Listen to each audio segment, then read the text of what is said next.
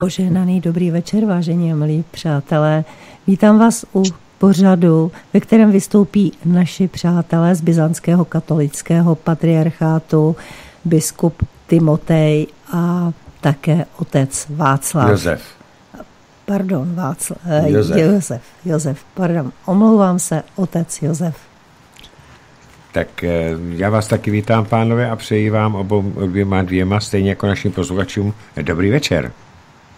Požehnaný dobrý večer. Pochválen Pane Kristus. Tak, Dobrý eh, večer.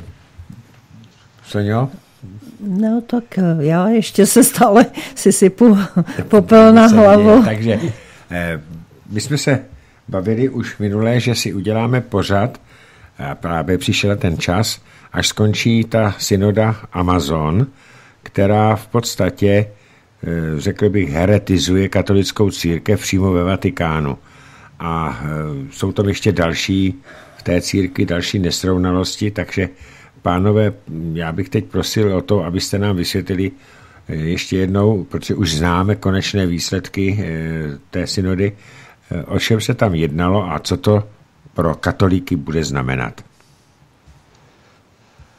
Takže minulý mesiac sa ukončila tá synoda o Amazonii a vlastne bol tam ten záverečný dokument, v ktorom ustanovili tri základné body.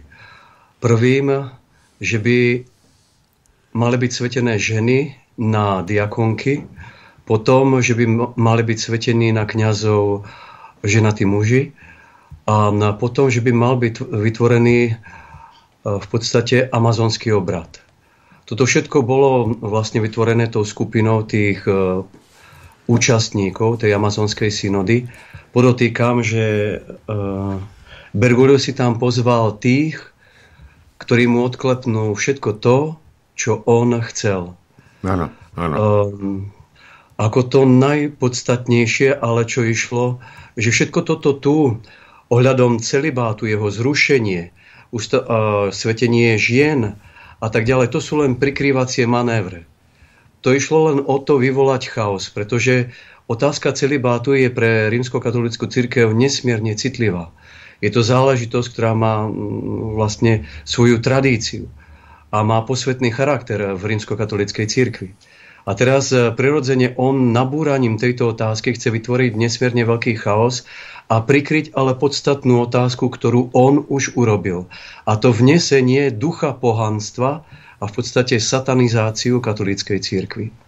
A videli sme to na tom, čo on urobil 4. októbra, keď dovolil, aby vo vatikánskych záhradách bol vykonaný ten modloslužobný pohanský obrad, potom dovolil, aby bola vzdávaná božská úcta uh, bohyni Pača Máma priamo pred hlavným oltárom Baziliky svätého Petra, aby boli znovu tieto pohanské obrady um, urobené v chráme Santa Maria in Traspontina. Ako celé toto sa prevalilo cez rímskokatolickú církev a vyvolalo to vlnu odporu. Ako ozvali sa mnohí i biskupy, i kardináli, ktorí jasne nazvali mm, tieto veci tak, ako sú. To znamená, jeden z najťažších hriechov proti prvému Božiemu prikázaniu, do neba volajúce bohorúhanie, jeden biskup z Brazílie to dokonca nazval satanským rúhaním a satanistické obrady priamo vo vatikánskych záhradách.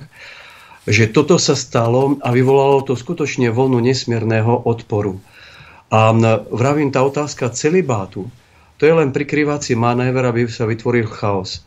Vďaka Bohu, ale tento prikrývací manéver vlastne Bergogliovi nevyšiel, pretože uh, sa zmobilizovala veľká časť veriacich, vrátanie kňazov i niektorých kardinálov i mm, jednoduchých veriacich. Ako sme už uviedli aj minule, ten, myslím, že mm, príklad toho uh, mladého muža z Rakúska, ktorý cestoval až do Ríma, aby vlastne vyzbieral tieto modly z chrámu Santa Maria Traspontina a potom ich hodil do Tiberu. Ano, o tom sme hovorili. čo ale nasledovalo? Nasledovalo to, že srdce rvúco Bergoglio plakal za týmito modlami pačamámi. Ako je to mm, ako niečo desivé. Pretože keď si zoberieme životopisy svety, tak tí vždycky mm, v podstate modly ničili. robili to podobným spôsobom. Buď ich hádzali do rieky, alebo ich spálili, alebo nejakým iným spôsobom ich zničili. A teraz, pretože modlárstvo je nezlúčiteľné s vierou v jedného Boha. Modlárstvo je neznúčiteľné s vierou Ježíša Krista. A priamo v Biblii nazývame hneď vlastne vidíme v prvom Božom prikázaní, kde Boh sám hovorí, ja som tvoj Boh, nebudeš mať iných bohov, nebudeš si robiť modly, nebudeš ich uctievať, nebudeš im, nebudeš im slúžiť, nebudeš sa im kláňať. To znamená, toto tu sa približne udialo v Ríme, ale týmto neskončilo. Hmm. Hneď deň po završení amazonskej synody sa stalo niečo, čo mm, myslím, že otriaslo tými, ktorí sa o tom dozvedeli. Koloseum je miesto, kde zomreli mnohí kresťania a preliali svoju krv preto, že nechceli slúžiť modlám. Preto, že nehodili ani jedno zrnko uh, tymiánu uh, týmto modlám. Že neurobili takéto gesto úcty voči iným božstvám, pretože uverili v Ježíša Krista tak práve na tomto mieste, pri hlavnom vchode do Kolosea, bola vstýčená v rámci výstavy Nesmrteľné Kartágo socha Molocha, hmm. výšku okolo 4 metrov. Podotýkam, že to je kanánske božstvo z časov vlastne, keď um, vyvoleného uh, národu, keď sa kanánčania kláňali tejto modle a keď vyvolený národ odpadol od Boha, tak sa tiež kláňal tejto modle. Čím bola táto modla význačná, alebo toto božstvo? Bola to modla vyliata z bronzu. Ona bola potom e, ohňom rozpálená až úplne tak, že bola žeravá. Ona mala taký otvor v oblasti, ja neviem, či hrudníku, či lona, to už neviem. A teraz rodičia tam prinášali svojich novorodencov. A tých pohanskí kňazi hádzali týchto novorodencov dovnútra tejto modly. A teraz si predstavte, že túto modlu, krvilačnú modlu tohto božstva, ja by som ho nazval satana, je stýčená pri vchode do Kolosea a bude tam niekoľko mesiacov. Až do budúceho roku, keď pred, tesne pred eh, Paschou vlastne bude odstránená. Ale to je hrozné. Podotýkam, to je hrozné. Pričom podotýkam, že je tam uh, Koloseo, Koloseum je pod správou ako aj Vatikánu, tak aj Mestského úradu v Ríme. To znamená, tam sa nič neudieje bez toho, aby Rím o tom nevedel. Aby k tomu nedal schválenie. To znamená, toto pokračuje ďalej a tu vidíme, že to je už priamy smer satanizácie katolíckej cirkvi v podaní Bergolia, ktorý nie je žiadnym pápežom. To je heretik a odpadlík. No, já jsem toto nevěděl, popravdě řečeno, pane biskupe, a e, opravdu si nedokážu představit, protože já jsem o, to, o té soše toho Molocha a o těch kanádských četl v historických materiálech a opravdu oni tam zaživa do té rozpálené bronzové sochy házeli ty novorozence jako oběť tomuto bohu a proto se taky říká, když něco všechno jako si sežere, tak se tomu říká moloch. Jo, třeba moloch peněz, že ty, ten bůh, moloch, ten, ta modla, takže eh, všechny lidi pohltila a oni teď jenom jdou po jedné, po penězích. Takže já si nedovedu představit, že něco podobného vatikánská církev, to znamená církev, která přesně a tisíciletí odmítala takovéto strašlivé oběti dětských novorozenských, že na to mohli přistoupit. Eh, pane biskupe, jak je možné, že vůbec toto je, mo, eh, sedí na Petrově stolci? Proč se křesťani světa nevzbouřili? No, ako som už povedal, že istá časť katolických kresťanov sa postavila proti tomu a veľmi jasne a veľmi vyhránene. A došlo k tomu, že tí, ktorí rozumejú, o čo ide, toto gesto, diabolské gesto klaniania sa modlám, to znamená uctievaniu démonov, jasne odsúdili. Ale teraz prečo sa to stalo? Treba sa vrátiť trošku do histórie a veľmi zbežne a ukázať jednu podstatnú vec.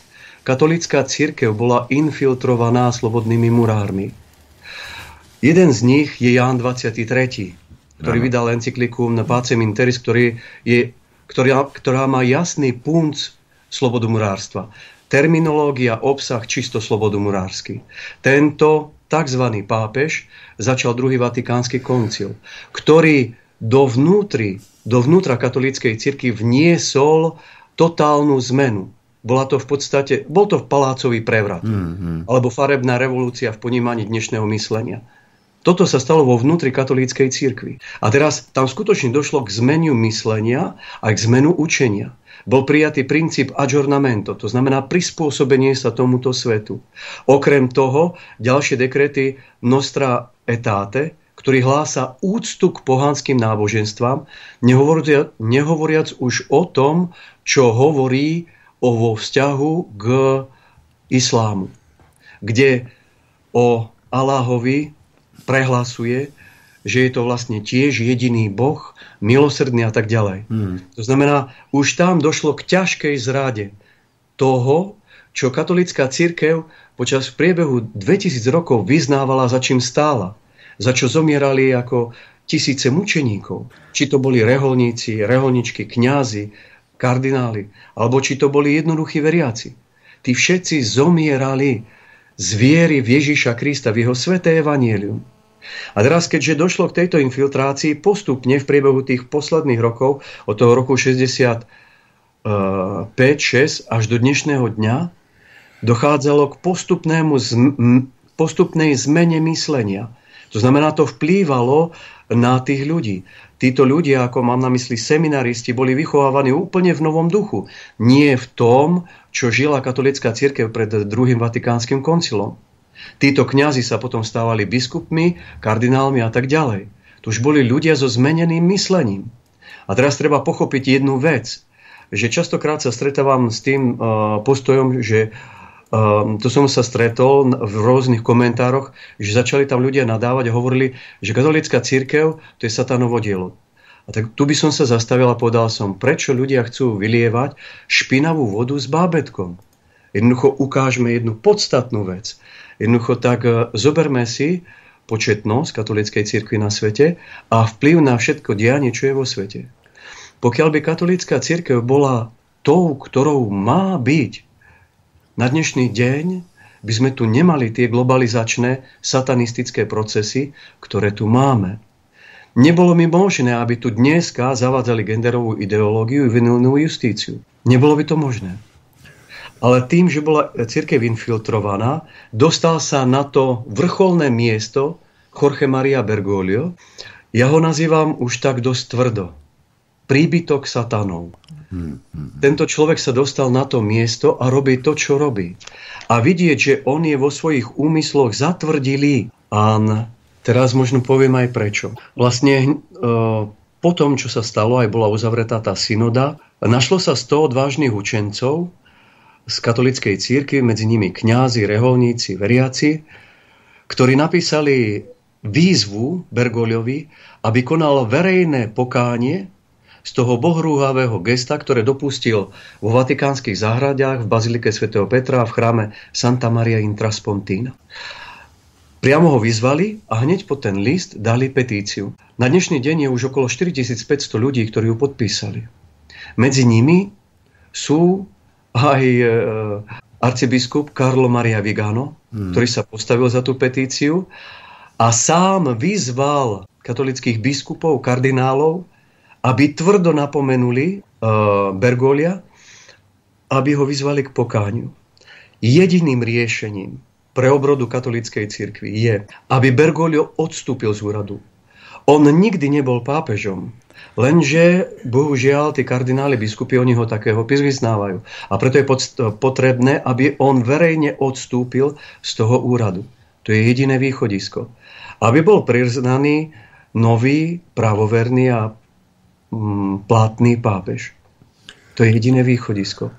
Ktorý jednak odsúdi herezi neomodernizmu, to je tá slobodomurárska infiltrácia, odsúdi herezi druhého vatikánskeho koncilu odsúdi zároveň tie vlastne hm, slobodomurárske lože tak, ako to bolo predtým v katolíckej cirkvi a vyhlási exkomunikáciu na všetkých slobodomurárov, ktorí sa infiltrovali dovnútra katolíckej cirkvi. To sú základné kroky. A bez týchto nie je možná obroda. No, no. Mm-hmm. Ale je zřejmé, že Bergoglio tento krok nikdy neudělá, protože on se dostal do situace, kdy se mu plní jeho sen, proto byl předurčen, aby zničil katolickou církev a on je tomu tak velmi blízko. On neudělá tento krok a nechá celou situaci ještě dále vygradovat s tím, že doufá v to, že to zvládne, že tam bude mít dost poskoků, kteří mu půjdou na roku a tato situace, to ten odpor, že se natolik zlomí nebo utlumí, že ho nebude ohrožovat v jeho cíli, aby se stal eh, takzvaně světovládcem eh, náboženským pod záštitou OSN. Usiluje o tu spojenou víru, jednu víru, to znamená že by se zrušily všechny víry, všechny církve pod jednu takovou všeobjímající církev. To je cíl Bergolia. A dlouhodobý Tak to bylo psáno od, v tom uh, Štrasburském memorandu a on to plní. Máte úplnú pravdu a ja k tomu len dodám, že vlastne uh, tohto roku Bergoglio bol v Abu Dhabi a tam podpísal dokument takého všeobecného priateľstva, bratstva medzi náboženstvami. A obzvlášť prirodzene ako e, bratstva voči moslimom. A v tejto deklarácii je jedno heretické slovo. Také, no ako je tam toho viacej, ale toto je to najdôležitejšie. On tam napísal, alebo je tam napísané, že Boh chce pluralitu náboženstiev. To znamená, že Boh ich chcel. Um, tým samým, čo on napísal aj podpísal, poprel vieru v jediného Boha. Bergoglio hlása ekologické obrátenie, integrálny humanizmus, hlása návrat k prírode a k prirodzeným veciam. Hovorí o ekologických hriechoch, hovorí o spoločnom dome všetkých ľudí a všetkých náboženstiev Hovorí o hriechoch proti tomuto spoločnému domu. On nikdy ale nehovorí o Ježišovi Kristovi. Hmm. On nikdy nezvestuje Ježiša Krista. Nikdy nehovorí o Kristovej církvi. Nikdy nehovorí o tom, aby sa ľudia odvrátili od temnoty k svetlu a od moci satana k Bohu. Čo má robiť apoštol, ktorý je nástupcom apoštola Petra. To presne doplňa to, čo vy hovoríte. A teraz práve 15.11. 2019 sa František Bergoglio na audiencii stretol s imámom uh, vlastne z tej univerzity Al-Azhar, aj taj, um, no, som zabudol teraz jeho meno, nevadí, to mi vypadlo. Ale čo chcem tým povedať, priamo počas tohto stretnutia bol navrhnutý projekt, kde sa hovorilo o stavbe domu Abrahamovskej rodiny. Ide o to, aby v Abu Dhabi, v záhradách, tam niekde v tom teritóriu v Abu Dhabi, boli vystavané tri chrámy. Jeden pre muslimov, jeden pre židov a jeden pre kresťanov. A že to je tzv. Abrahamovská rodina. Chcem povedať, že tento termín Abrahamovská rodina je vymysel slobodomurárov. Allah nikdy nebol Bohom Abrahama. A ani nebude. To je nezmysel. A Abraham by sa veľmi divil, keby k nemu prehovoril Allah a tvrdil mu, že je jeho Bohom. S tým všetkým, čo on tzv. zjavil Mohamedovi. To je na slnko jasné. A teraz je veľmi ale krásne, že na toto všetko zareagoval arcibiskup Karlo Maria Vigano skutočne v najvyššej autorite. Tak ako my sme urobili to prorocké gesto a zvolili sme ho a je vyhlásili vlastne za pravoplatného pápeža, tak on napísal tieto slova. Ja to skutočne prečítam, lebo to stojí za to, to si to vypočuť. Stavba domu Abrahamovské rodiny se jeví jako babylonský podnik budovaný božími nepřáteli. Nepřáteli Kristovi církve a nepřáteli jediného pravého náboženství, které jediné může člověka a celé stvoření zachránit od zničení, jak časného, tak i věčného. základ tohoto babylonského domu jsou odsouzení k tomu, aby zanikli a zhroutili se. Vznikají tam, kde prostřednictvím rukou samotných stavitelů má být odstraněn jediný nárožný kámen, Ježíš Kristus, spasitel a pán, na kterém boží dům stojí. A tu vidíme podstatný rozdíl. Bergoglio, on buduje skutočne babylonskú väžu a Karlo Maria Vigano, on práve potvrdzuje platnosť Božího slova. On potvrdzuje, že Ježiš je Božím synom a spasiteľom.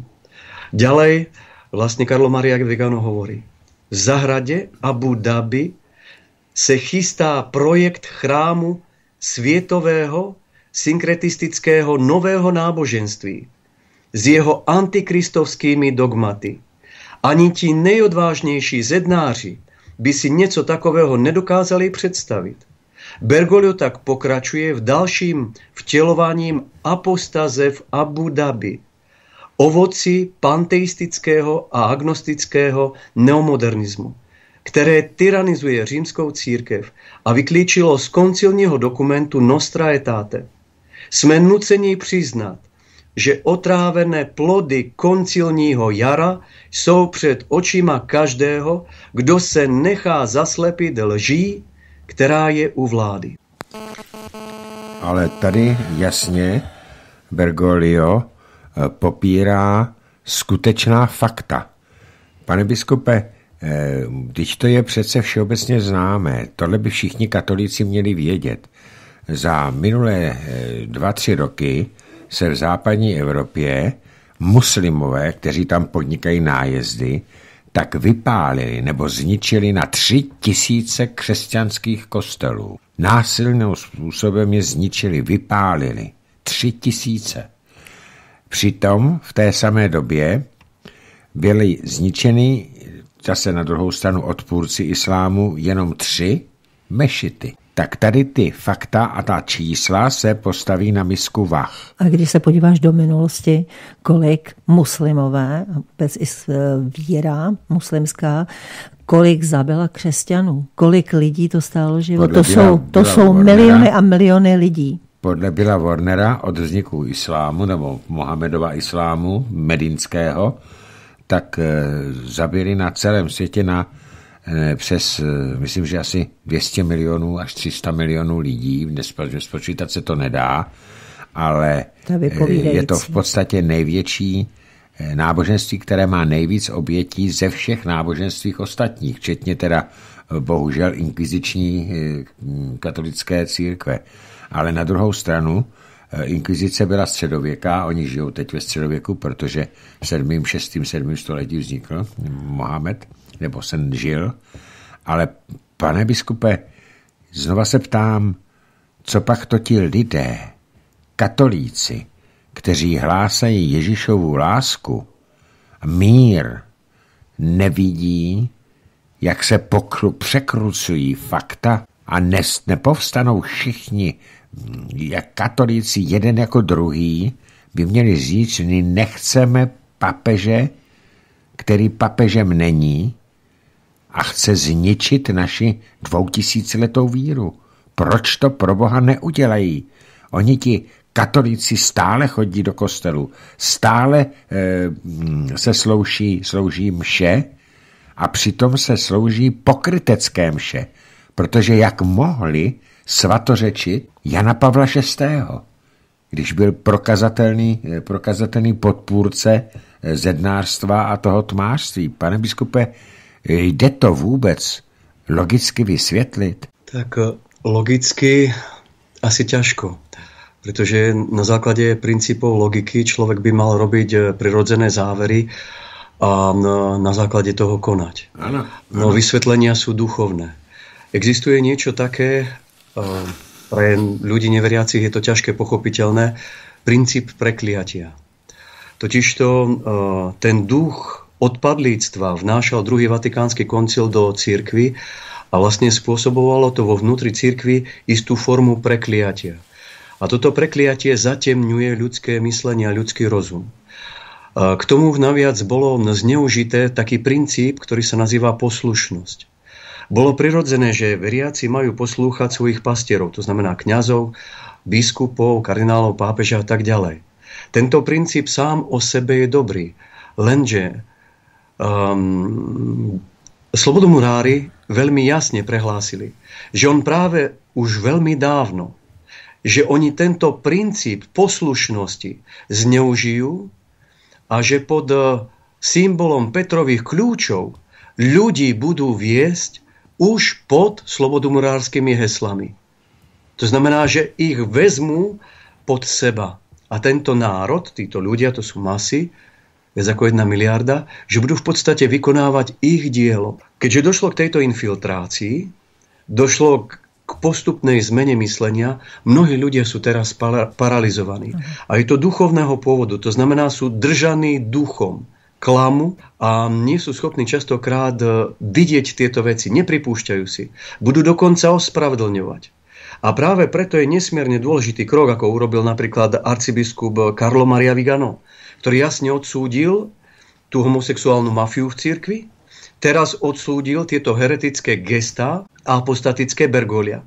A práve na konkrétnych krokoch takýchto odvážnych jedincov, okrem toho, čo robí patriarch Eliáš, ja hovorím, tak spočíva to, že ten ľud sa môže skutočne obnoť, obnoviť a obrodiť.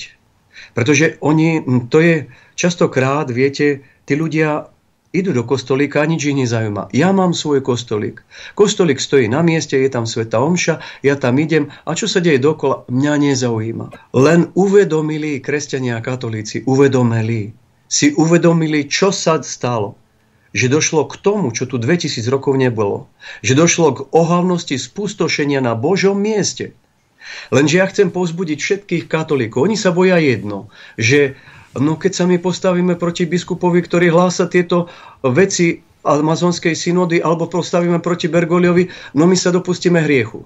Tak teraz im zacitujem z búly Pavla IV. Je to rok 1554, myslím, chvíľku, pozriem sa. 1559. No a v tomto dokumente boli týmto pápežom Pavlom IV. odsúdené všetky herézy. A bolo povedané, keby akýkoľvek biskup, kardinál alebo dokonca pápež bol heretikom, tým samým stráca úrad a nikto ho nemusí poslúchať.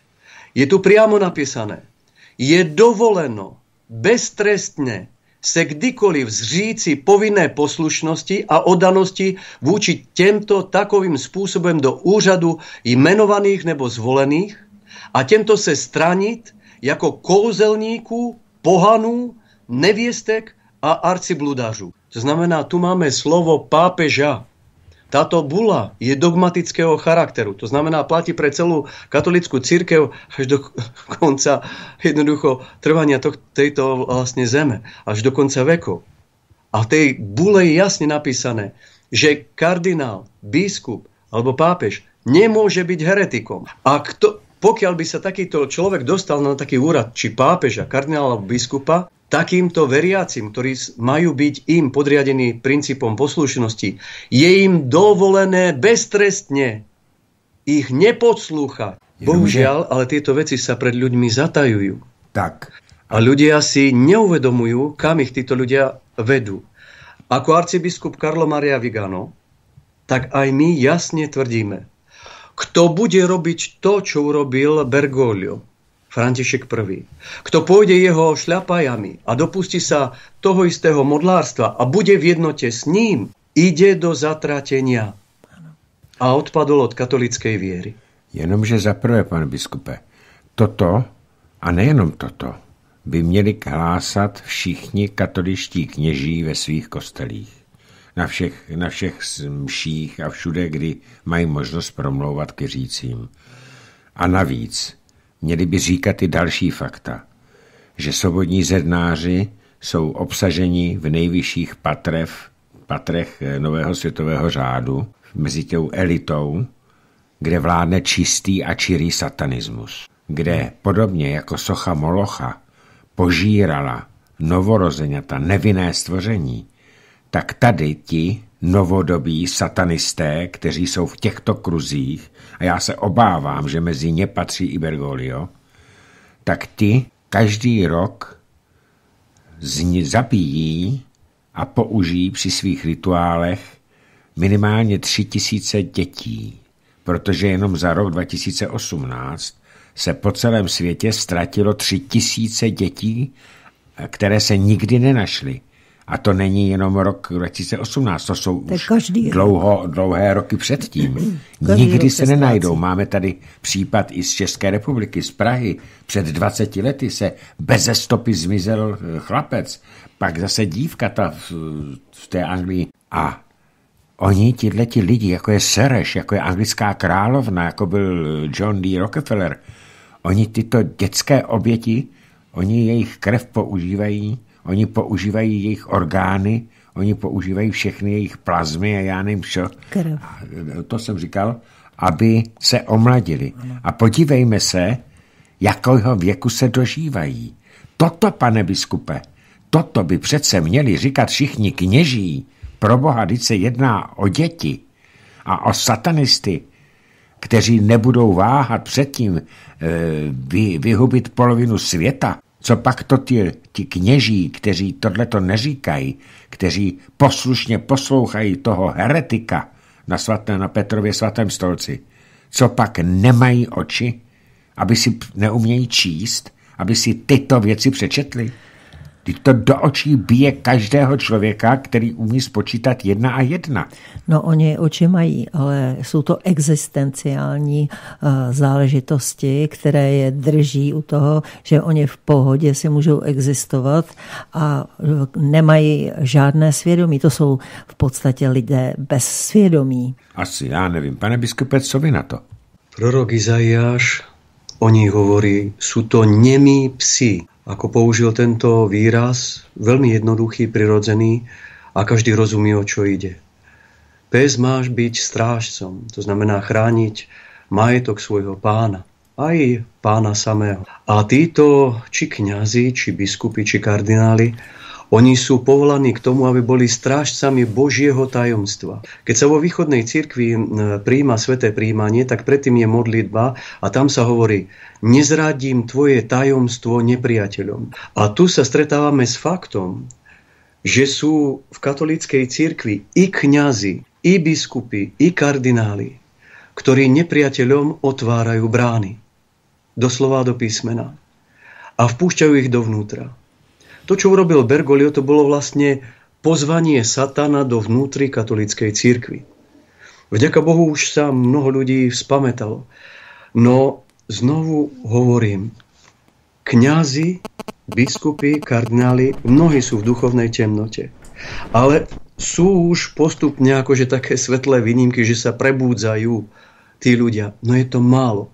Prečo nekričia? priznám sa vám, ako mne je to ťažké pochopiť. Mne bolo ťažké pochopiť, keď sme boli na Ukrajine a písali sme do Vatikánu o tom, čo sa deje na Ukrajine, keď tam začal ten štátny prevrat a občianská vojna. Keď sme ukazovali na to, čo robila hierarchia grecko-katolickej církvy na Majdane. Keď sme ukazovali na to, že pod pláštikom pobožnosti sa vyháňajú na ulice milióny ľudí, ktorých používajú ako temnú masu na to, aby zrealizovali štátny prevrat. Keď sme písali do Vatikánu, neprišla ani jedna odpoveď. Prevrat bol dovršený, začala občianská vojna. Na dnes sú, mil, uh, prepáčte, na dnešný deň sú tisíce mŕtvych. Ano. A teraz táto štruktúra vo Vatikáne, obzvlášť za týchto časov Bergolia, je špecifickým spôsobom infiltrovaná.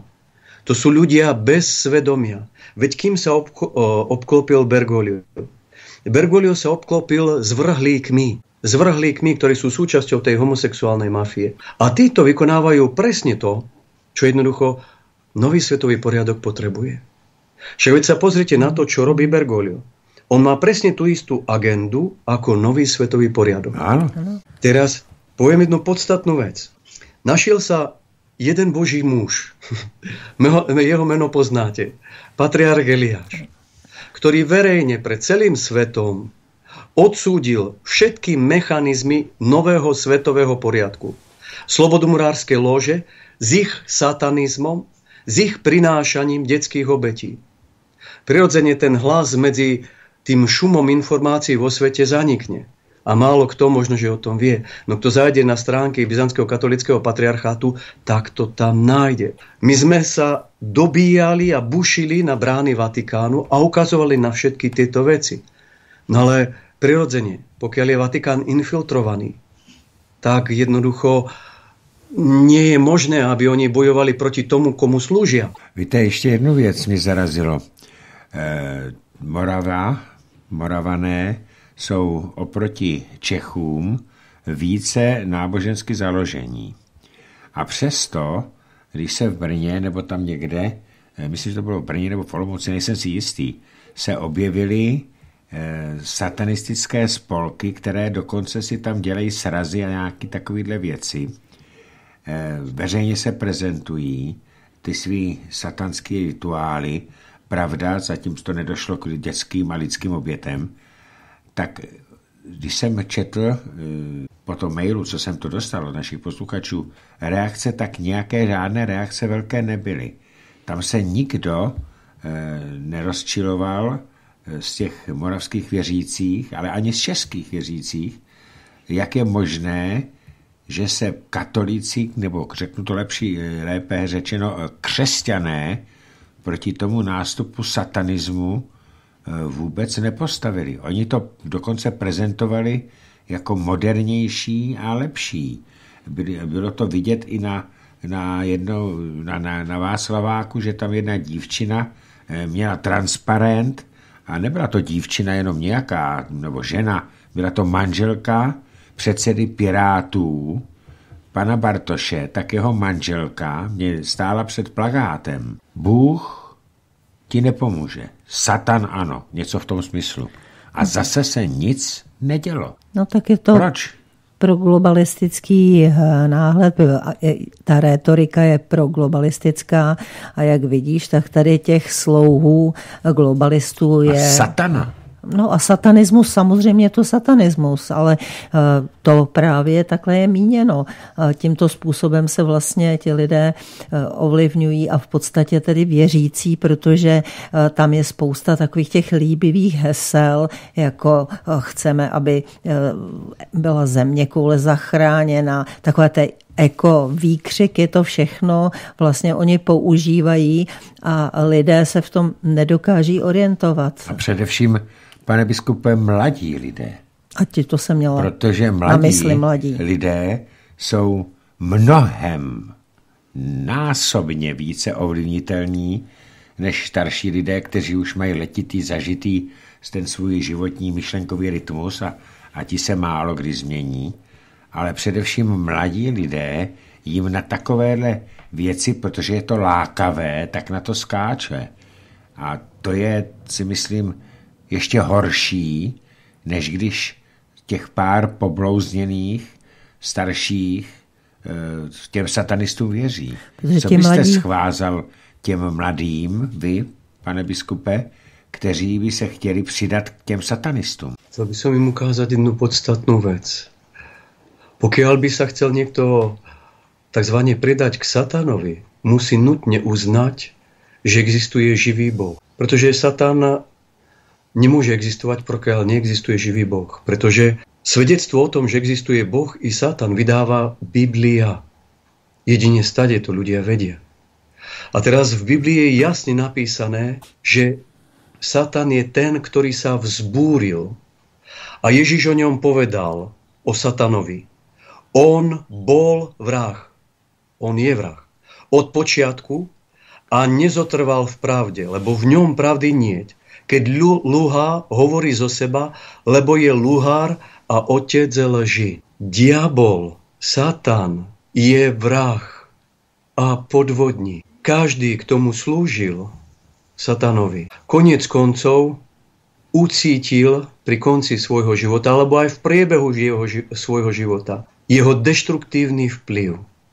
A drevá väčšina ľudí skončila svoj život samovraždou. Tí, ktorí slúžia satanovi, prinášajú zvrátené ľudské obete, to znamená vraždia.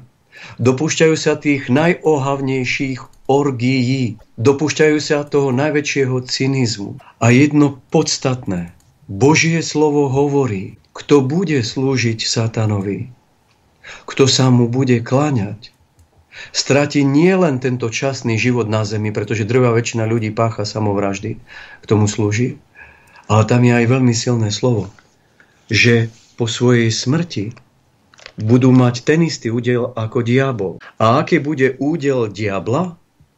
No údel diabla bude tento. A diabol, ktorý ich zvádzal, všetky národy, bol zvrhnutý do ohnivého jazera a sírového jazera, kde je aj šelma i falošný prorok. A budú mučení dňom i nocou na veky vekov. Každá prirodzená ľudská bytosť má istý ľudský cit, nehu. Obzvlášť dievčata túžia potom, aby nikto k nim bol nežný, aby boli milované, aby niekto ich mal rád. To je také typické ako pre ženský svet. A to je pre nich akože tá, tá najväčšia cennosť v ich srdci. Tak to nosia. Lenže diabol nenávidí človeka.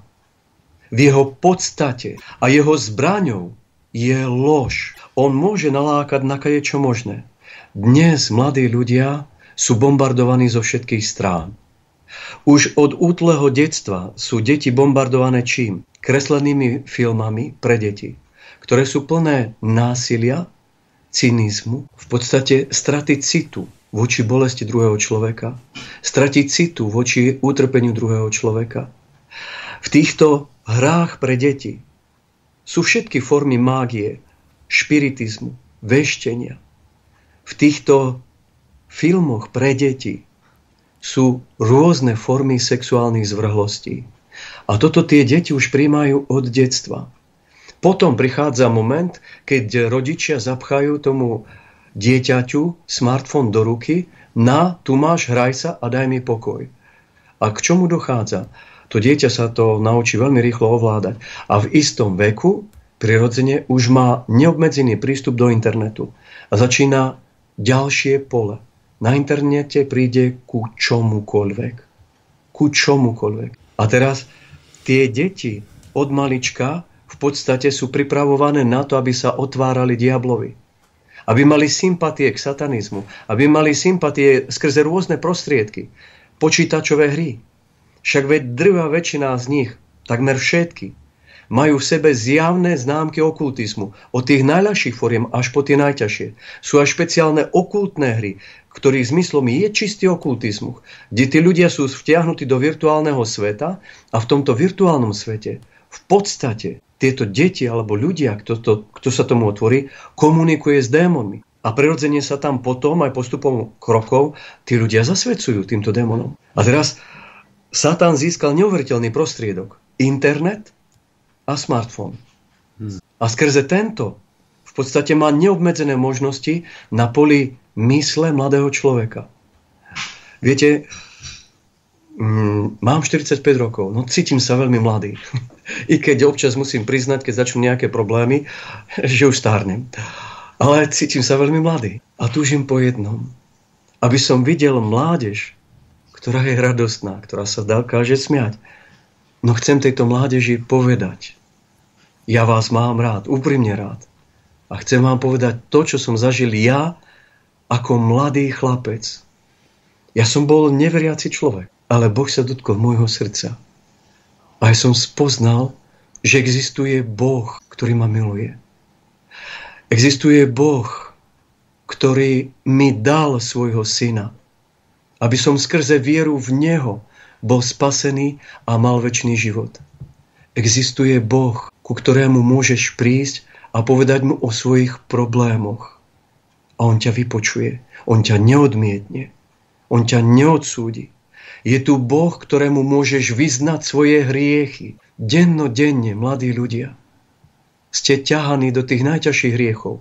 V oblasti sexuality najčastejšie. Nehovoriac potom už o iných, alkohol, drogy a tak ďalej. Áno, tomu všetkému ste vystavovaní a bombardovaní. Človek by túžil všetkým vám pomôcť a svedčiť o Bohu, ktorý o vás stojí. Keď sme boli naposledy vo Veľkej Dobrej a bolo to stretnutie, a keď som videl mladých ľudí, chlapcov a dievčatá, mne tak sa zaradovalo srdce. Tak zaradovalo srdce. Sú tu mladí ľudia, ktorí milujú svoju vlast, ktorým od niečo ide. ktorí túžia, ale sú vystavení veľkému nebezpečenstvu. Pretože táto vlna satanizmu, ona sa šíri rôznymi prostriedkami. A najdostupnejší prostriedok pre nich je práve hudba. Každý človek má rád hudbu, predpokladám. No a toto je vlastne jedno pole, také, aby som povedal, najúrodnejšie pre diabla. Pretože tu má priamy dostup k človeku. A mm, pokiaľ by, ja som vlastne hovoril, toto je veľmi dlhý čas, ale ja by som teraz chcel dať priestor otcovi Jozefovi kvôli čomu? Aby on povedal práve o tejto oblasti hudby. Aby povedal veľmi jasné slovo. Pretože to slovo musí zaznieť.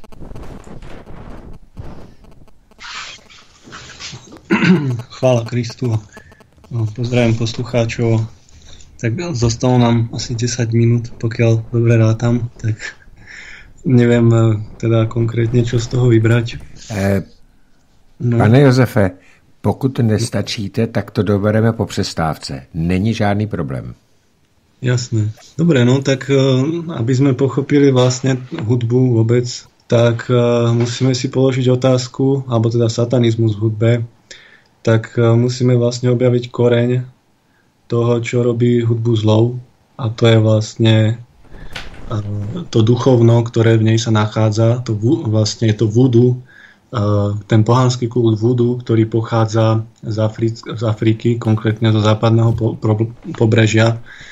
A ten je vlastne založený na uh, rituáloch, ktoré spočívajú v zložitých vrstvoch mnohorytmického bubnovania a tie sú primárnym zdrojom tejto okultnej sily týchto pohanských rituálov.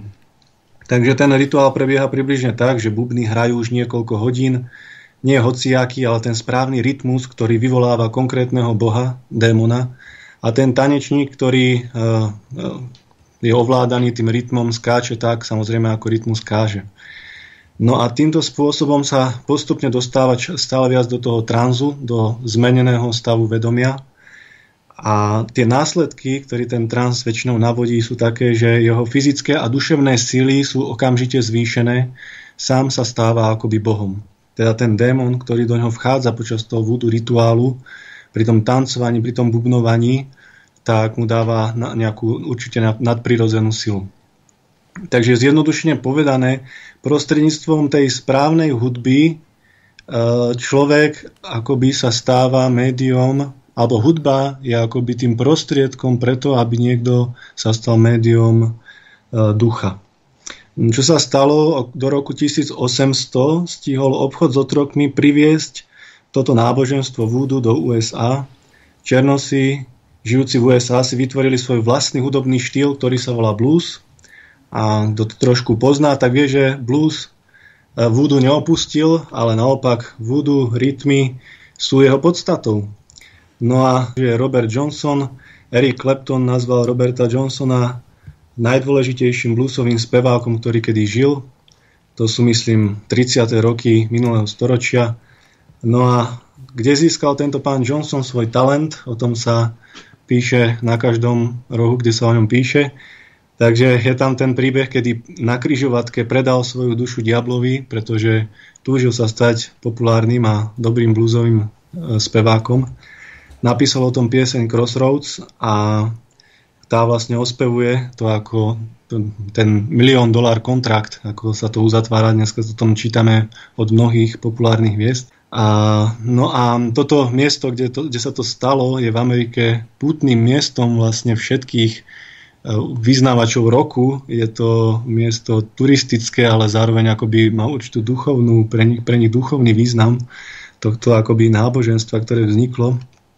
No tento pán Johnson sa preslávil piesňou Ja a diabol, Me and the Devil a tu môžem zači- zacitovať niektoré teda slova z tej piesne. Ja a diabol sme išli bok po boku, ja a diabol sme išli bok po boku. Budem byť svoju ženu, až kým ma to neuspokojí.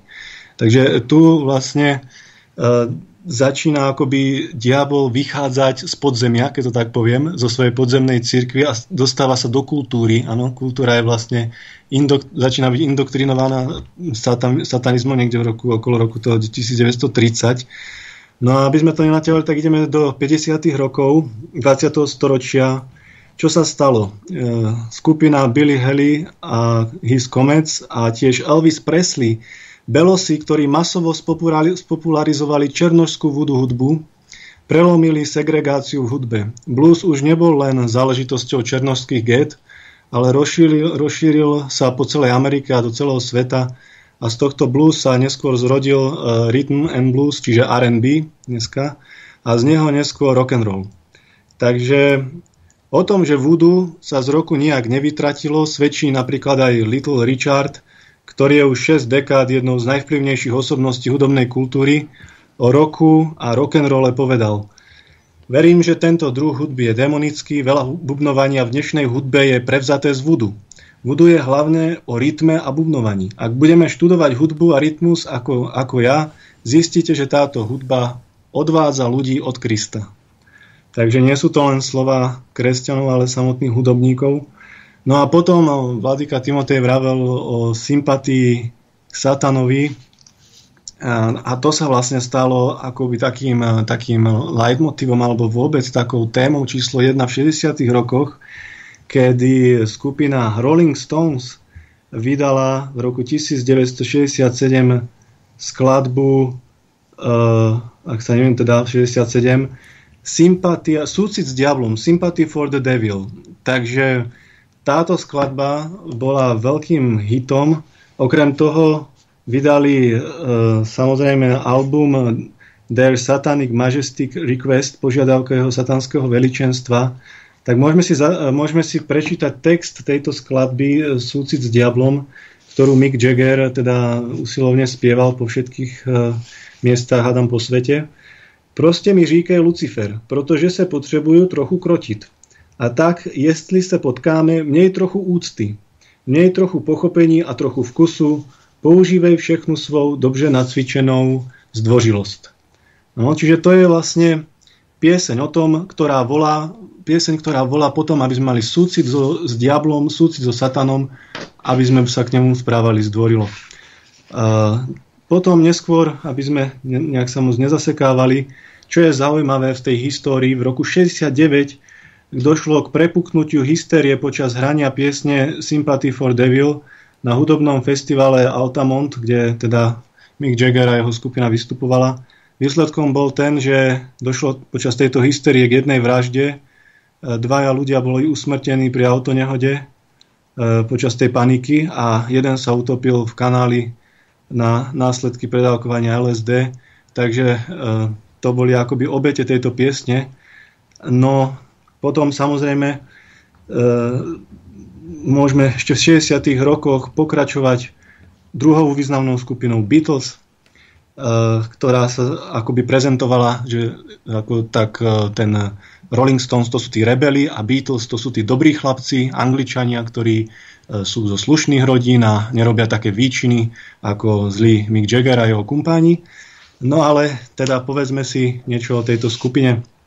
Takže Beatles, samozrejme v 60. rokoch Derek Taylor, tlačový agent Beatles, povedal, oni sú úplne antikristoví. Prirodzene ja tiež som antikristov, ale oni sú tak veľmi antikristoví, že ma až udivujú a to nie je ľahké. V tom istom roku, ako vyšla piesen Sympathy for Devil od Mika Jaggera, vyšiel aj album Sgt. Pepper's Lonely Hearts Club Band od Beatles a na obálke tohto albumu je, to je známa obálka, je práve tá fotografia Alistera Crowleyho, alebo teda postava Alistera Crowleyho, a čo je zaujímavé vlastne na ich tvorbe je pieseň Imagine od Johna Lennona z 71. roku.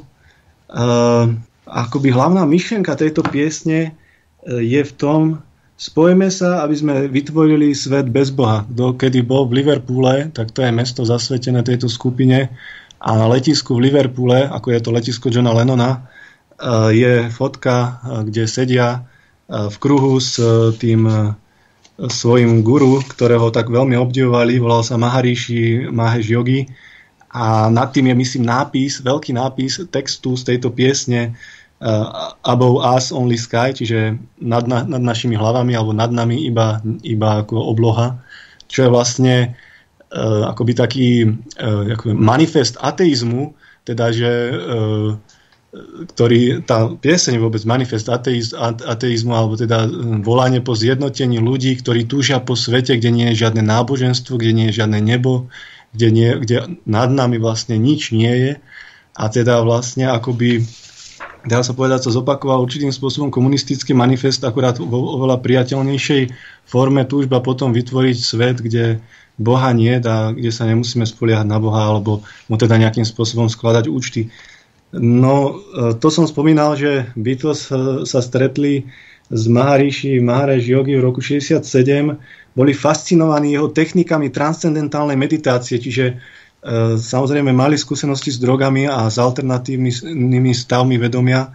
A toto je len iný spôsob, ako si navodiť alternatívny, alternatívny stav vedomia, táto transcendentálna meditácia. A z ďačnosti, alebo teda z obdivu k tomuto, k tomuto e, joginovi vlastne napísal George Harrison pieseň My Sweet Lord, kde sa zmiešava kresťanstvo s mantrou sekty Harev Krishny, čiže tá piesen začína kresťansky, on tam spieva Aleluja a potom samozrejme refren tej piesne je tá, tá mantra tej, toho, toho Harev Krishny. Takže on sám teda v jednom rozhovore povedal, že chcel akoby, akoby tak e, prelstiť kresťanov alebo ľudí sympatizujúcich s kresťanstvom, že nahodí im teda pocit alebo takú istotu, že počúvajú kresťanskú pieseň a potom do nich pustí ten jed toho, tej mantry, toho pohanstva. No... Já vás na chvilku přeruším. No, nech se páči. Máme 20. hodinu. My si pustíme teďka, eh, protože jsme hovořili, pan eh, biskup Timotej hovořil o tom, že byl potěšen eh, těmi mladými na velké dobré, my všichni taky samozřejmě.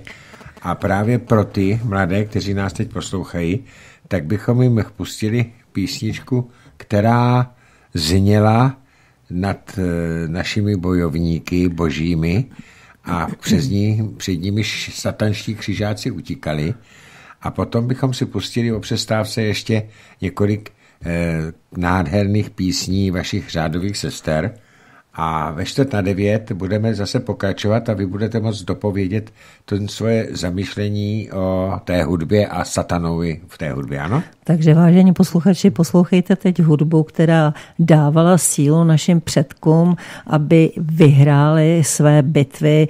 My tu sílu potřebujeme taky a čeká nás stejně těžký a tvrdý boj. Takže pánové biskupové, nebo pane biskupe a otče Josefe, za čtvrt hodinku se budu těšit na slyšenou. Tak ještě jednou dobrý večer v druhé polovině pořadu kde vystupují naši milé, milí hosté z Byzantského katolického patriarchátu, biskup Timotej a otec Josef. Tak, tak slyšíme se, pánové. Se? Ano, počujeme se velmi dobře. Ano. Dobrý večer ještě jednou. Takže, Takže já bych poprosil otce Josefa, jestli by dokončil eh, to své vystoupení o, té, o tom satanismu v hudbě. Eh, co nějak tomu má připomínku? Já jsem jenom chtěla k tomu říci, že i u nás už eh, byl pořád právě o umělcích, kteří nebo zpěvácích, kteří se zaprodali satanu. Byl to velice povedený uh, tehdy pořád od Ivety Richteříkové a je dohledání v našem archivu, uh, kde právě ona upozorňuje na určité i symboly, které se opakují eh, v textech písní a které symbolizují toho, toho ďábla. A pokud budete mít zájem, tak je to opravdu povedený pořád, doporučuji si to stáhnout a poslechnout. Takže to je jenom tak na okraji. Tak pánové, teď je to zase na vás. Tak já už asi nebudem to dlho naťahovať, tak pravděpodobně už to poslucháči počuli, všetky tie odhalenia hudobného priemyslu, ktorý je namočený v tomto satanizme. A, tak asi len ukončíme to s tým Beatles, že hlavnou myšlienkou, alebo teda cieľom tejto kapely eh, Beatles bolo indoktrinovať mládež myšlienkou rob si čo chceš. Čiže boli to v podstate e, relatívne slušní mladíci, ktorí e, mali zmeniť myslenie ľudí takým, ako sa to hovorí, tou salamovou metódou. No a ešte teda už len tak letom svetom asi spomeniem teda tie heavy metalové skupiny, ktoré samozrejme sa neskrýva, ani to nejak neskrývajú, že slúžia uh, diablovi a teda majú veľký obdiv Alisterovi Crowleymu. Ale za zmienku možno stojí uh, teda Iron Maiden, ktorí napi- majú skladbu Man of, Sorrows, Muž bolesti, kde ospevujú, ktorá táto skladba je venovaná tomuto satanistovi Alisterovi Crowleymu, kde ho ospevujú. Potom samozrejme v skladbe 666 ospevujú príchod Antikrista. A Bruce Dickinson, spevák kapely Iron Maiden, napísal scénar pre film Chemical Wedding, ktorý je vlastne oslavným filmom života Alistera Crowleyho. Takže bol to, je to veľký ctiteľ tohto satanistu a je ním nadšený vlastne jeho myšlienkami. Ďalej skupina ACDC, keď si pozriete YouTube, tak e, jedna z ich najznámejších pesničiek Dielnica do pekla má 116 miliónov pozretí. To je, to je neuveriteľný úspech satanov, keď dokáže toľko ľudí natchnúť e, a prinútiť akoby spievať Som na diálnici do pekla. Naviac je to s veľkou pravdepodobnosťou je to pravda. Ľudia si to spievajú a ešte sa z toho dokážu aj tešiť. A to je pre mňa ako nepochopiteľné, ako sme tu vravili o tej logike, že logicky by mali katolíci robiť to a to. No tak e, tuto už je to úplne zjavné, no tak logicky, ak som na diálnici do pekla, tak to nie je žiadny dôvod na oslavu a mal by som teda niečo s tým robiť a nie sa tešiť, že tam za chvíľku budem, ale vlastne vidíme, ako hudba má, akú manipulačnú silu má hudba a ten duch, ktorý je za ním, vlastne dokáže natoľko zastrieť kritické myslenie, analytické myslenie, že človek dokáže tu ten pocit, ten zážitok z toho povýšiť nad všetko. Text piesne znie Sem na dálnici do pekla, žiadne stopky, omezení rýchlosti, nikto mne nespomalí. Jako, ko, jako kolo to roztočím, nikto se se mnou nebude pachtit. Hej, ďáble, zaplatil sem svo, své dluhy hraním v rokovej kapele Hej mami, podívej na mne, sem na ceste do země zaslíbené, sem na dálnici do pekla. Toto si spieva teda uh, nespočetné množstvo ľudí. Ešte úspešnejšia piesen snáď ich pieseň Hells Bells, to sú akože pekelné zvony, ktorá má 161 miliónov pozretí na YouTube a takto ten refrém Neberu žádne zajace, nešetřím životy, nikto neujde boji, Mám své zvony, dostanú te do pekla. Však ja te dostanu. Satan te dostane. Toto je vlastne ten moment, kedy e, diabol už e, sa nemusí skrývať, kedy e, akoby nemusí sa tajiť. Prečo dnes manželka Bartoša môže stáť na gay pride a hovoriť, že Satan vás miluje, pretože ľudia sú napočúvaní takýchto piesní, ktorí oslavujú, oslavujú diabla, temnotu, peklo, hnus, vraždy, samovraždy, kanibalizmus, e, či, či chcú alebo nechcú vlastne skrze tú manipulačnú techniku hudby, je, je v nich zbudená sympatia k tomu, čo im je prirodzene odporné, postupne, nevrajím, že to ide hneď, a tým pádom nie sú potom schopní sa zoprieť čomukoľvek zlému. No, Black Sabbath a Ozzy Osbourne, toto je zaujímavý príbeh, už to asi moc naťahujem. V roku 1986 e, čelil žalobe Black Sabbath a Ozzy Osbourne vo veci samovraždy mladého chlapca Johna McColluma. Svoj život ukončil pri počúvaní piesne od Black Sabbath s názvom Suicide Solution, to znamená riešením je samovražda. To, to je názov tej piesne. E, samozrejme, že Ozzy Osbourne nezavreli, pretože to sú bohovia dnešnej doby, oni sú nedotknutelní.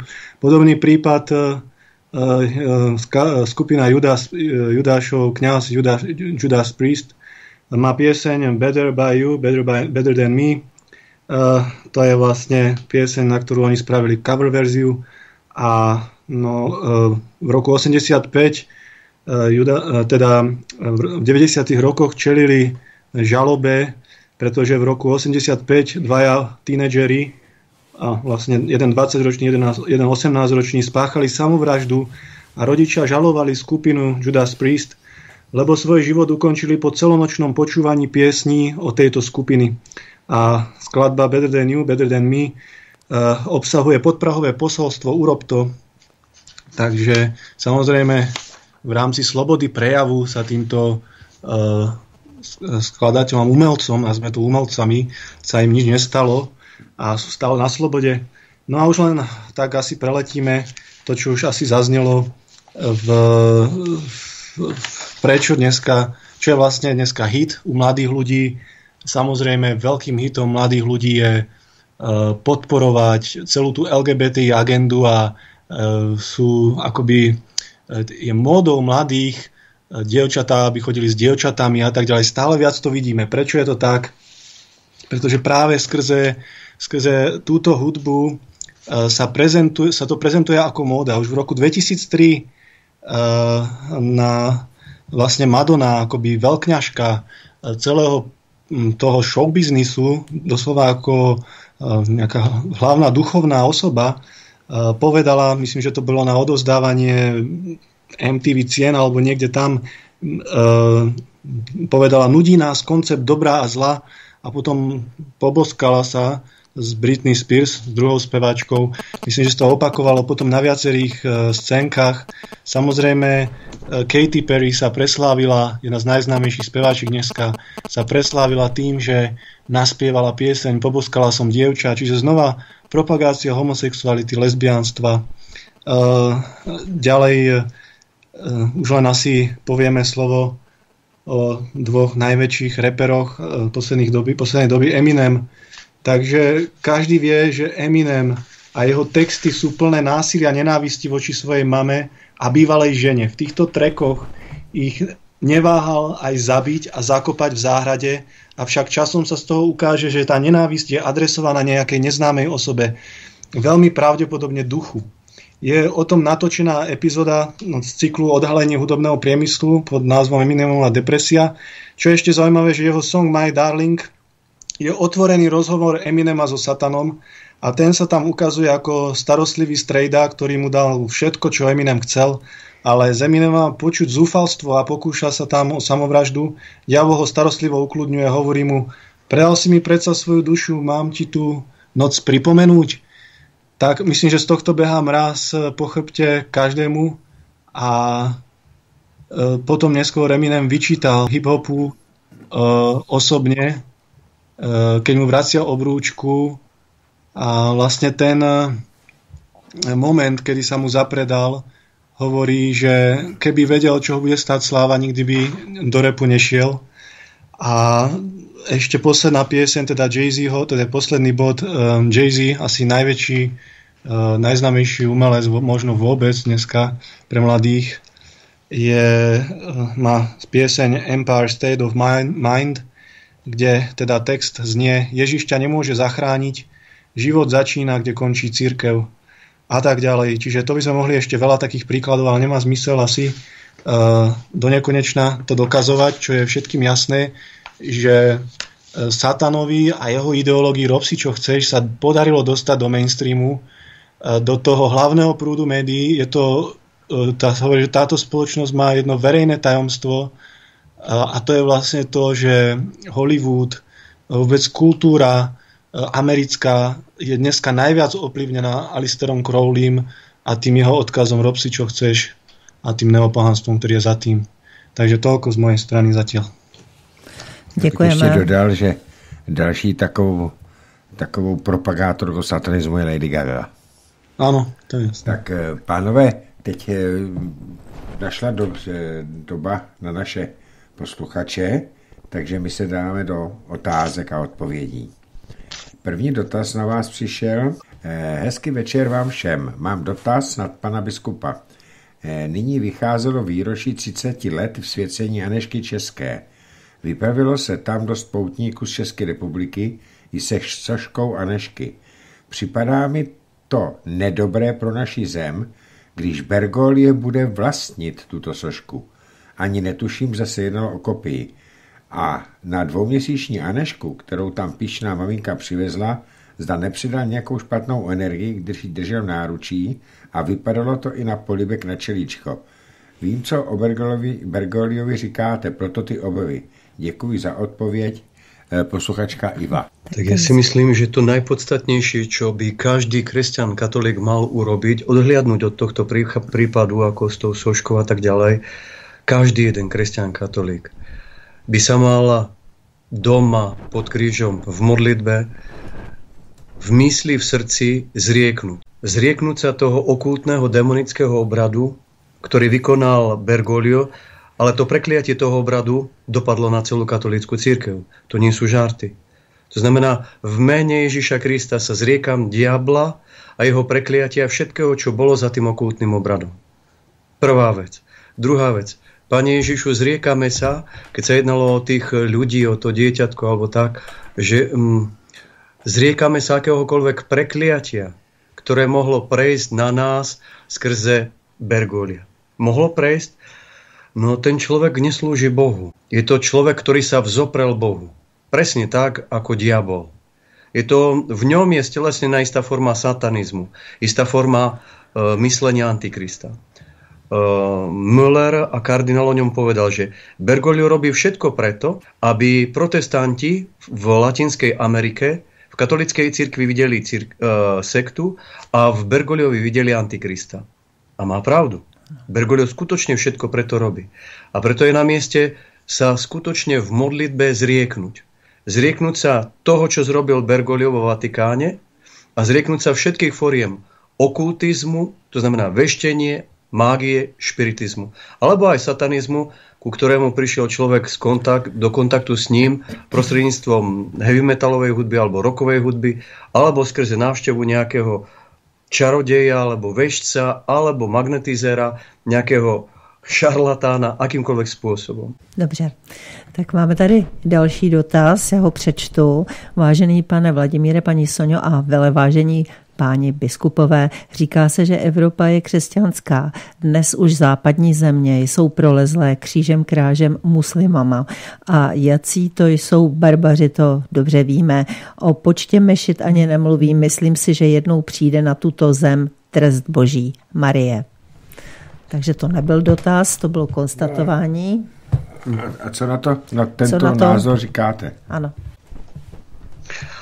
Tak eh, Trestom Boží muži je to, že, tu je, že sú tu milióny muslimov a že sú tu mešity s minaretami.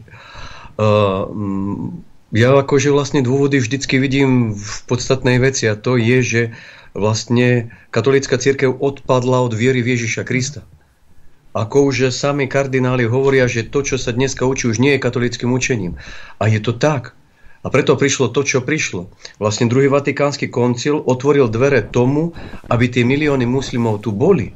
Pretože ten odpad vo vnútri katolíckej cirkvi má priamy dopad na politiku. Pretože katolická cirkev sa vzdala hlásania evanielium, evanielia, vzdala sa ochrany veriacich, církvy, ale aj spoločnosti. Kde už dneska vidíte skutočne takých tých bohatierov, ktorí bojujú? Napríklad za deti, ako vy ste hovorili, že toľko detí padá do rúk satanistov, ktorí tam robia satanistické rituály s nimi. No ja sa pýtam, kde sú? A je to pravda, kde sú? Ano. A teraz človek vníma, že vnútro katolíckej cirkvi bolo natoľko paralizované, že vlastne tento satanizmus mohol rozbújnieť vo svete. A preto skutočne človek s takou bolesťou pozera na mladých. Uvedomuje si, do akej miery sú bombardovaní zo všetkých strán a chcel by im pomôcť. Ale častokrát sa človek stretne s tým, že keď im chce pomôcť, tak to berú tak, ako keby im chcel niečo brániť. Mm-hmm. A ja vravím, že no je to tak. skutočne vravím mladým ľuďom, že jednoducho viete, ja mám skúsenosť s tým, kto je Satan. A ja viem, že on je vrah. Ja viem, že on je klamár. Vy s ním tú skúsenosť nemáte. Lenže ja mám. A viem, že to tak je. Inak... Dennodenne s tým musím zápasiť. Častokrát človek musí zväzovať v mene Ježíša Krista, diabla, démonov. Jednoducho to je tvrdý boj. Len teraz pred reláciou som si ešte pozrel tri svedectva. Jedno zo Slovenska, jedno z Polska, jedno z Ruska. O rituálnych vraždách satanistov. V Polsku dvaja mladí chlapci zavraždili jedného chlapca a dievča. Rituálne. Hmm. Satanistickým obradom na Slovensku dvaja bratranci a vlastne aj so sesternicou zabra- zabili ďalšiu sesternicu. Len preto, že neverila v satana. Na východnom Slovensku, v Rusku zabili niekoľko dievčat e, rituálne. Nebudem hovoriť ďalej, to, to sú neskutočné veci. Oni im podrezovali isté časti tiel, potom to uvarili a dokonca to potom jedli. Áno, četl som, áno. Toto je satanizmus. Toto je práva tvár satanizmu. A ja sa tak s bolesťou pozerám, reku, mladí, ja vás prosím, Neotvárajte sa satanizmu skrze hudbu. Neotvárajte sa satanizmu skrze počítačové hry. To nie sú nevinné veci. Neotvárajte sa satanizmu skrze transcendentálnu meditáciu, skrze všetku, všetko to svinstvo, čo ponúka New Age, skrze veštenie, mágiu, špiritizmu. Majte seba natoľko radi. A to, čo, kto čo vás prosím, skúste vzývať meno Ježíša. A keď ho nepoznáte, povedzte mu, Ježiš, ty si živý, tak mi o tebe hovoria. Keď si, daj sa mi poznať. A keď budete vytrvali, Ježiš sa vám dá poznať. On vám dá život, pretože on prišiel kvôli tomu, aby dal život, aby ho dal v plnosti. Diabol prišiel preto, aby vám život vzial, aby vám ho zničil drogami, sexom, čímkoľvek iným, okultizmom a skončíte ako trosky. A človek má z toho bolesť. Bolesť, strašnú bolesť.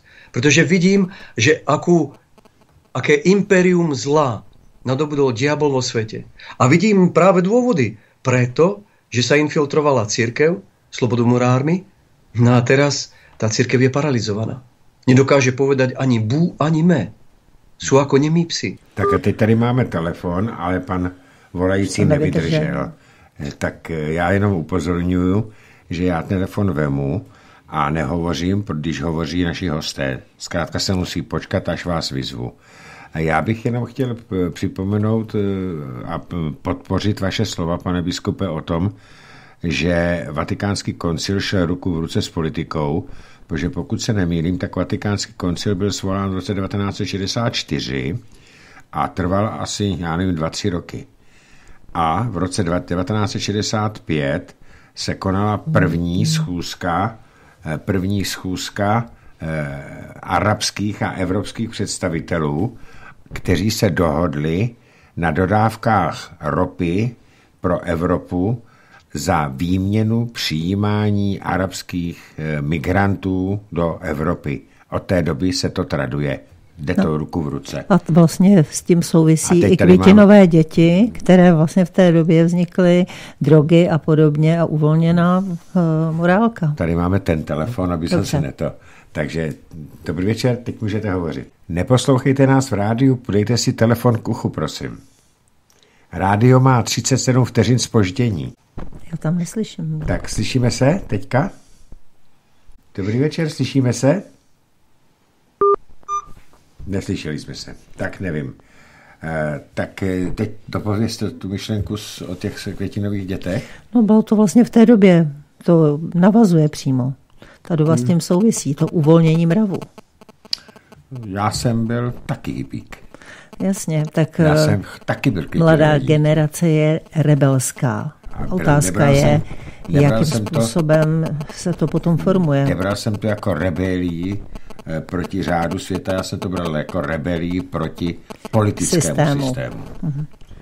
Tak eh, tady nám se, na, se vás ptá, pání, nebo pane biskupe vám, vás, jak se má biskup Metoděj. Máte ho pozdravovat, píše Vladimír Jirásek z Pardubic. Hm. Tak vďaka Bohu sa má dobre, um, vykonáva svoju misiu. Uh, napísal mi veľmi krátky list. Um, skôr chcel vedieť, ako sa vy máte všetci.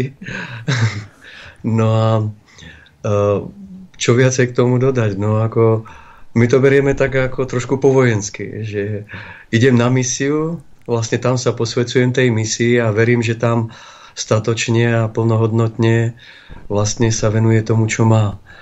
Že zasvedcuje svůj život Bohu a slouží tým, u kterým byl povolaný. Tak my samozřejmě máme vždycky obavy, aby se mu něco nestalo, protože mnohdy je v eh, takovém eh, území, kde je to přímo nebezpečné. Takže doufám, že je v pořádku taky. Tak eh, teď, teď se to snad podařilo. Slyšíme se? Halo? Ano, ano, dobrý večer, můžete mluvit a stižte si. Zdravím vás všechny ve studiu. U telefonu Mírka z Moravy, já už jsem vám jedenkrát volala. Ano. Jak se tam měli Timoteja a ještě toho chodem metodě. Ano. Ale víte, bych se chtěla zeptat. My do 19. prosince máme mši za manželovou maminku a její rodinu. A tam se vzpomíná toho papeže Františka a já teď nevím, co mám dělat. Já, jako, já tam musím jít, protože to je rodina. Halo? Ano. Takže no, vám biskup vám odpoví. Jako, Co máte dělat? Prosím? Pan biskup no, co mám dělat, odpoví. aby, jako, aby se nedopustila hříchu, no, Hmm, nevím. hmm. Slyšel jste, pane biskupe Timoteji, otázku? Áno, áno, počúvam vás. Tak uh, viete, keď sa ocitnete v takejto situácii, ako je rodinná záležitosť, akože prirodzene, oni by vás asi nedokázali pochopiť, keby ste tam neboli. Takže n- to je n, taká veľmi citlivá záležitosť ako rodina. No Áno. pokiaľ by ste tam boli, tak môžete povedať veľmi jednoducho. V momente, ako kňaz povie v jednote s našim pápežom Františkom, vy môžete v srdci povedať anatema. To znamená, nech je vylúčený, ako zriekať sa Bergolia. Tým gestom, keď poviete anatema, sa zároveň zriekate Bergolia, všetkého toho prekliatia, ktorý je za ním a akejkoľvek jednoty s ním. A to by bolo asi to najzákladnejšie, čo by ste mohla urobiť. E, Počkejte, ještě mi to jednou zopakujte, nebo já to nějak slabě slyším. Mhm. Možná, v že by... momente, ako náhle kňaz hovorí Ano. slova v jednote s našim pápežom Františkom, tak v tom momente vy v srdci si povedzte úprimne anatema. To znamená, to slovo znamená, keď je to priamo, nech je prekliatý, ale zároveň znamená, nech je vylúčený. Akože ono má taký hlbší zmysel. A anatema znamená vylúčený z církvy. Keď poviete vy slovo anatema, to znamená, vy v tom momente sa zriekate akejkoľvek jednoty s apostatom Františkom. Dobře, tak anatema, ano? Áno, Tak je děkuji. to jste mě potěšili, že to budu tak moc udělat. No, zatiaľ Tak, asi vám- neurobíte viacej, akože potom prirodzene, pokiaľ kňaz je zatvrdilý a jednoducho propaguje Bergolia a propaguje synodu, no tak tam nie je čo už robiť. Tam nie je pr- miesto pre, pre skutočného pravdivého kresťana katolika. A treba čakať, pokiaľ Boh vám dá milosť poznať nejakých kňazov pravoverných, ktorí ako budú slúžiť poprvé platne a, n- a budú v jednote skutočne s pravoplatným pápežom. Tak teď Tak nám tam teď něco nám tam pro- hraje, takže eh, prolezlo nějaké Když se Já musí vypnout rádio. Mějte se moc pěkně. Mějte se taky pěkně a. můžete si to poslechnout ještě i eh, z archivu, pokud byste chtěla znova Dobře, si to. tak jo, tak mějte se. Děkuji. Tak, Tak- eh, tady, tady mám, máme eh, tady mám dotaz a to bude zajímavý dotaz, ke kterému by se taky chtěl vyjádřit potom. Po, samozřejmě po vás. Dobrý večer, omlouvám se, ale dnešní téma, respektive z jeho poslední části bych měl trochu problém. Ta část, kde zmiňuje váš host třeba Beatles. Pí- písně Beatles dosti důkladně naposlouchané, v podstatě od mládí. A opravdu, byť znám texty, nemám pocit, že by skrze ty čtyři v podstatě geniální muzikanty ke mně promlouval například Satan. To se mi zdá trochu přitažené za vlasy. To by tedy znamenalo, že by všichni, kdož mají rádi kvalitní muziku a třeba jsou zrovna nevěřící, měli sklony k satanismu? Nebo jsem vašemu výkladu špatně porozuměl? Prosím, vysvětlete nebo mne opravte, pokud se míli- mýlím. Ostatně Beatlové byli vždy v podstatě vtipáci. Nemyslíte? Děkuji a hezký zbytek večera. Přeje Marian K. ze Severní Moravy. Tak, pane biskupe, co, co byste odpověděl panu Marianovi? Možno, že odpoviem, ale nechám priestor potom aj otcovi Jozefovi, že uh, prvá vec, títo interpreti ako Beatles alebo iné skupiny, oni mali konkrétnu úlohu. Uh, jedna vec je um, vy ako poslucháč. Druhá vec je táto skupina a jej úmysly. Uh, úmyslami tejto skupiny uh, v podstate bolo šíriť vzburu proti Bohu.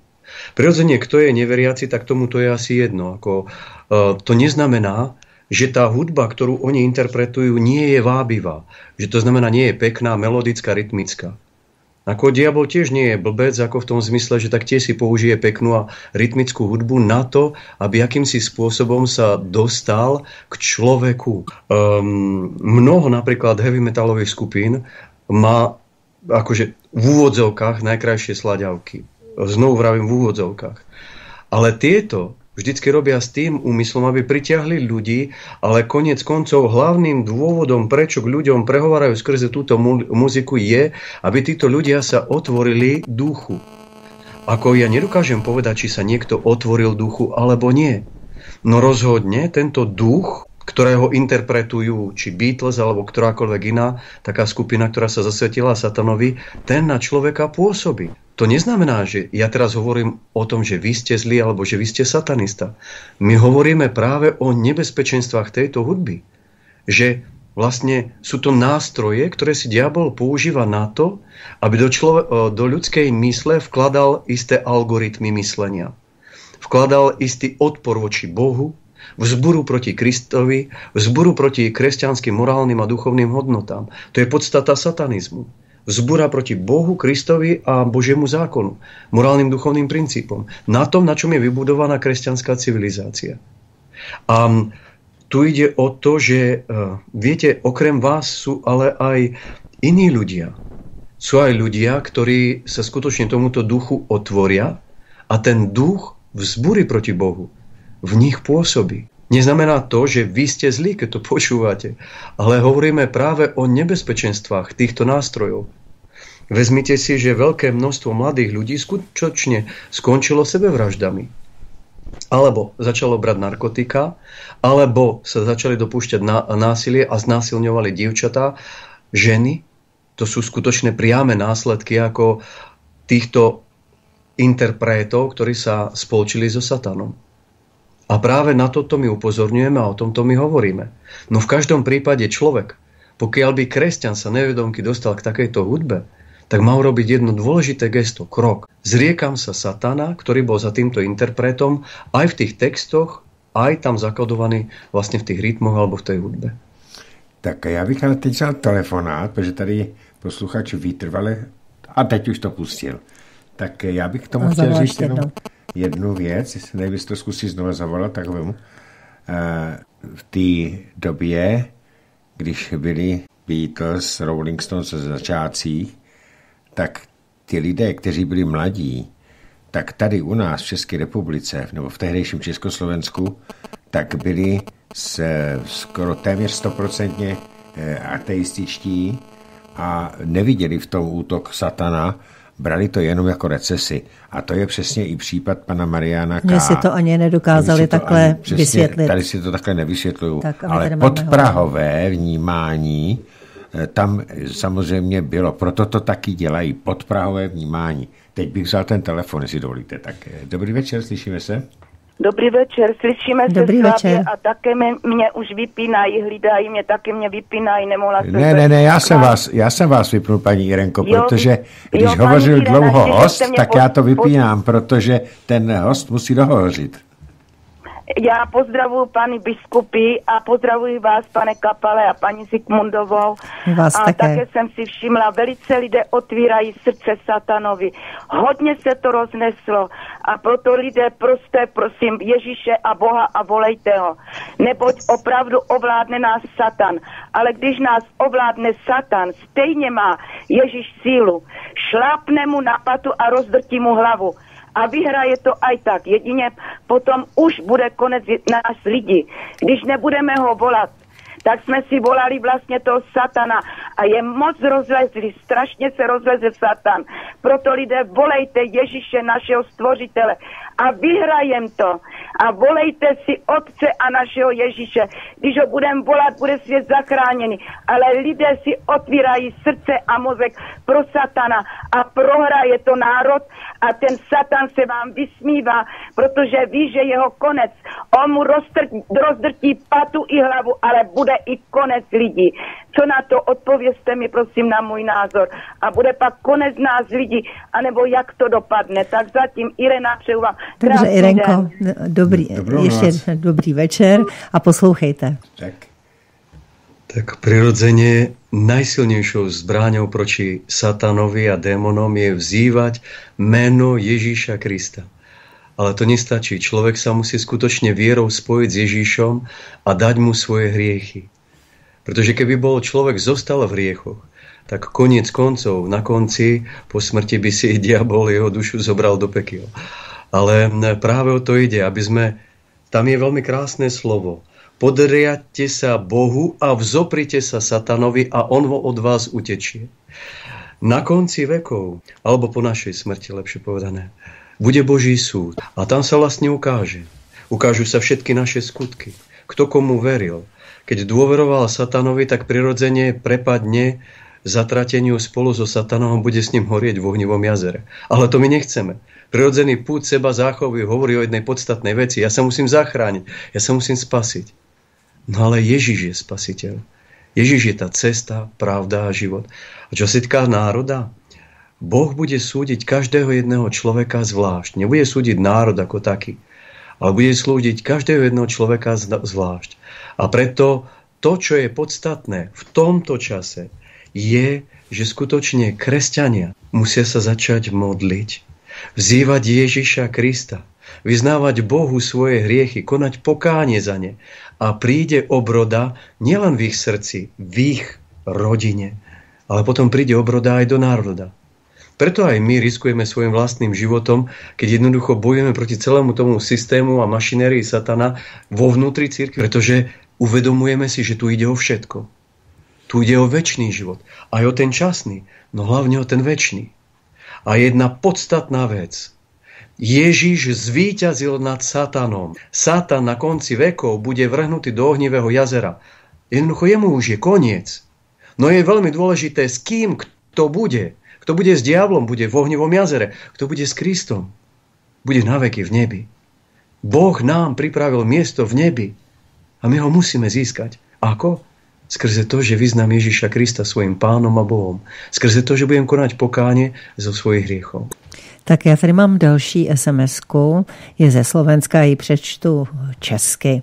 Dobrý den, chtěl bych se zeptat otce biskupa Timoteje anebo otce Josefa, aby vysvětlili posluchačům hřích proti duchu svatému. Zda je možné, aby se člověk, který se zasvětil satanovi, vrátil k Bohu. Posluchač eh, z Slovenska. Tak prosím. Dám prístor otcovi Jozefovi. Potom k tomu možno, že niečo doplním, keď bude treba. No tak eh, hriech proti Duchu Svetému. Tak eh, teraz neviem, či všetky vymenujem, ale myslím, že to nebude potrebné. Eh, to sú hriechy proti vlastne Božiemu milosrdenstvu. To znamená, kto napríklad zneužíva Božie milosrdenstvo takým spôsobom, že sa na ňo opovážlivo spolieha. Áno, budem, ako to sa hovorí, budem si hrešiť, koľko chcem a ja sa na smrteľnej, ja sa na smrteľnej posteli vyspovedám. Áno, tak to je príklad hriechu proti duchu svetému. E, tam je to veľké riziko, že e, človek z vlastnej viny sa akoby Uh, nie, že Boh by ho zatracoval, ale sám, sám človek vlastne si znemožňuje prístup k tomu odpusteniu hriechov a vlastne akoby opováživo čaká, že Boh mu dá ešte veľa času, veľa priestoru, aby si hrešil, užíval, robil čo chcel, áno. A potom samozrejme na konci života to nejak olutuje a bude teda väčšine šťastný v nebi. No tak to je jeden z hriechov proti Duchu Svetem, ktorý si spomínam Možno chce Vladika Timotej niečo povedať, tak teraz sa preruším. Je tam možná záchrana? A tam je jedna podstatná vec. Ježíš ukázal na farizejoch a sadúcejoch, čo to je hriech proti Duchu Svetému. Keď Ježíš v Božou mocou vyháňal démonov z posadnutých ľudí, keď Ježíš uzdravoval chorých, prejavovala sa Božia moc. A farizeji a zákonníci o ňom hovorili, že je posadnutý, že mocou Belzebulal robí tieto veci. To znamená, keď človek začne dobro, ktoré Boh robí, nazývať zlom a diabolským mámením, tak toto je du- hriech proti Duchu Svetému. To znamená, farizeji a saduceji, oni mohli veľmi dobre vedieť, akou mocou to Ježiš robí. A oni sa doslova z neho vysmiali a hovorili, ty si posadnutý. Pričom Boh sám vyháňal démonov z posadnutých ľudí. A čo sa týka toho človeka, ktorý by sa zasvetil satanovi. Prirodzene, keď e, to urobil v nejakej nerozvážnosti ako mladý, keď urobil nejaké hlúposti, alebo dokonca keby to robil aj seriózne, ale potom by ho zasiahla Božia milosť a on to urobil a takých prípadov v histórii je veľmi veľa, tak e, keď sa zriekne Antikrista, keď sa zriekne Satana, a bude konať doživotné pokánie, zriekne sa všetkých foriem veštenia, mágie, špiritizmu a odovzdá svoj život Kristovi, tak Kristus obmie jeho dušu svojou vlastnou krvou a dá mu moc zvíťaziť nad diablom, ktorému predtým slúžil a bude spasený. Prirodzene takáto cesta ale pre neho nebude jednoduchá, pretože diabol, no, no ako sme hovorili o tom, je klamár a vrah. Že jednoducho on si stále bude vyžadovať niečo svoje. To znamená, to bude celoživotný boj pre toho človeka.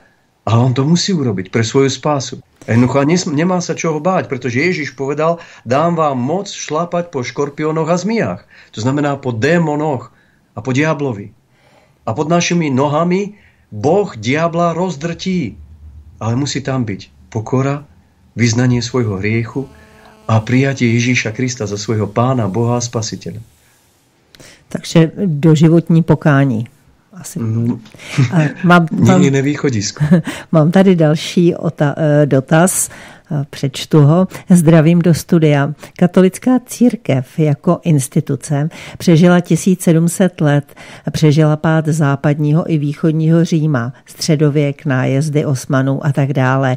Myslíte si, že nakonec přežije i současnou dobu, nebo už není naděje a bude to její definitivní konec? Děkuji a zdraví Vicky. Pozrite sa, v Biblii je v druhom liste Solunčanom v druhej kapitole je hovorené o tom, a to je Božie proroctvo, a tam sa hovorí o tom, že povstane syn neprávosti. Syn neprávosti, ktorý sa postaví ale na Božom mieste, to znamená v církvi. A bude sa povyšovať nad Boha a nad všetko, čo je hodné božskej úcty. Presne toto in, medzi iným robí aj e, Bergoglio. Že jednoducho sa povyšuje nad Boha aj nad Boží zákon. A teraz e, tam je napísané aj o tom, že e, vlastne bude zvádzať, e, vlastne v ňom bude, tak to poviem, v ňom bude stelesnená doslova do písmena moc diabla. A jeho pôsobenie bude veľmi veľké. A teraz znovu hovorím jednu podstatnú vec. Kristová církev je vo všetkých tých, ktorí prijali Ježiša Krista za svojho pána, Boha a spasiteľa, ktorí príjmajú Kristovo učenie, v jeho plnosti. Tak ako to je aj vo vnútri katolíckej církvy. To, že teraz odpadlo veľké množstvo kňazov, biskupov, kardinálov, to je tragédia. Ale práve preto Boh skrze svojich ľudí a posiela prorokov, ako je patriarch Eliáš, doslova prehovára i k národom, i ku konkrétnym ľuďom, aby sa mohli spamätať, aby sa mohli oddeliť od skutkov diabla, aby sa mohli postaviť na Božiu stranu oni budú spasení. V nich prebýva tá plnosť Kristovej církvy. V tých, ktorí zostali verní Kristovi. Vlastne všetci tí, ktorí veríme v Krista, zostávame mu verní, v nás je Kristova církev. A my sme tou Kristovou církvou. Ano, v nás Ježíš Kristus přežije, dokud tady bude poslední z nás. Dá se to tak říct? No, Ježíš len doplním k tomu, čo ste povedali, že v Biblii je kniha zjavenia. A v knihe zjavenia sa hovorí práve aj o tom, o tejto dobe, ktorú žijeme. Že diabol nadobudne veľkú moc. Dokonca bude mať moc 3,5 roka vládnuť. A vlastne vtedy budú zjednotené jednotlivé národy. Vtedy možno už bude práve tá tzv. jediná jediné svetové náboženstvo. Na 3,5 roka. Bude to čas tvrdých a ťažkých prenasledovaní, ale v ktorej Kristus nás bude oslobodzovať, v ktorej Kristus nás bude oporou. Mnohí budú aj mučeníci.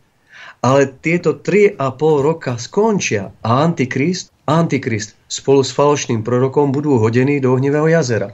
To je završenie dejín. Biblia veľmi jasne hovorí o týchto globalizačných procesoch sú tam veľmi jasne popísané. Aj o tom, ako sa budú spolčovať jednotlivé národy, ako budú vznikať isté vlastne celky politické.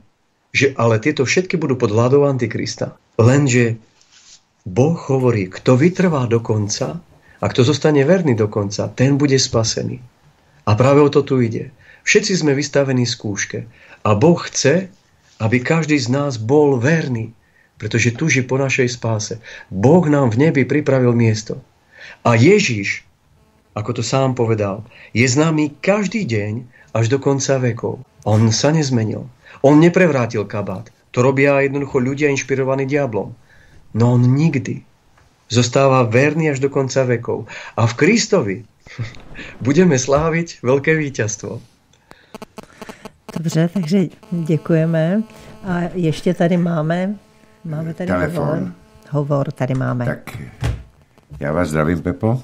Zdravím, vážený pane Kapale, zdravím, vážený pane biskupe a zdravím otce Josefa. Uh, krásný pořád. Zase jsme se dozvěděli něco víc o tom popmoderním světě života a já musím říct, že uh, já jsem pořád ještě asi taky pořád v období hříchů, ale cítím, cítím prostě Boha už jakoby odmala v sobě a chci tím jenom říct, že e, to období bude těžké a, a nic jiného prostě nezbyde a teď mi úplně vypadla ta myšlenka, kterou jsem chtěl říct. Chci poděkovat za hezký večer a, a A to je to hlavní, Pepo. my, my křesťané se nezdáme, jo, prostě je to v nás a, a, a za to prostě člověk to cítí v sobě, jo, jo, tohle jsem chtěl, že vlastně jsem cítil, než začal pořád, já jsem nekoukal do programu. A, a začínal pořád a normálně jsem si říkal, tak dneska tam budou asi páni biskupové. A bum, za čtyři minuty nebo za pět, když začal pořád uh, začala sluníčka, eh, krásný požehnaný večer a říkám, no vidíte, jak funguje na dálku uh, to spojenectví myšlenka uh, toho dobra. A děkuji moc za pořád, uh, zdravím ještě jednou pana biskupa, pana otce Josefa. Krásný požehnaný večer nám všem. Děkujeme za hovor, Pepičku. Dobrou noc. A dobrou noc, díky. Ty tady máš ještě v Ne, ne, něco? ne. Tak já tady mám ještě, ještě, ještě jednu, jednu SMS-ku, taky přečti tady. Telefon už brát nebudeme, protože je čistá na SMS-ku. Dobře, takže ještě tady máme sms -ku. Dobrý den, chci se zeptat na infiltraci církve, o které jste hovořili. Kterým církevním představitelům v České republice se dá dnes věřit? Dukovi, děkuji, Ondra z Ostravy. Takže to bylo s otazníkem. Eh, Pane biskupe, jestli můžete se vyjádřit. Tak eh, čo sa týka kardinála Duku, ako vďaka Bohu za tie jeho posledné kroky, ktoré urobil ako vlastne jediný sa tak statočne postavil proti tomu bohorúhavému eh, divadelnému predstaveniu, ktoré bolo v Brne. A i keď to podal do súdu, súd sa mu v podstate vysmial. Ano. Povedal, že tam ne, nevidí žiadne známky rúhania alebo tak eh, znevažovania a podobne. Ako bol to skutočne diabolský výsmech. A, ale je to precedens a kresťania ho budú môcť eh, vlastne tomuto systému zla opätovať a akože a poukázať na tento precedens, keď dôjde na to, že by nás chceli osočovať, že sme veľmi tvrdí voči niekomu alebo niečo podobné. Že on urobil skutočne ako v poslednej dobe niekoľko takých veľmi potrebných krokov, zdravých krokov. Prirodzene aj on je v tom systéme, ktorý veľmi ťažko pôsobí. Aj on potrebuje jednoducho modlitby ľudí. Potrebuje, pretože inak nebude mať milosť obstáť. Inak nebude mať milosť bojovať. Inak nebude mať milosť premôcť v tých rozhodujúcich a ťažkých skúškach, ktorým bude ešte vystavený.